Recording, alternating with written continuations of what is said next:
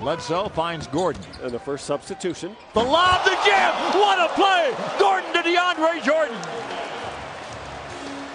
That's about three uh, lobs that uh, Gordon has thrown out in the last couple of games.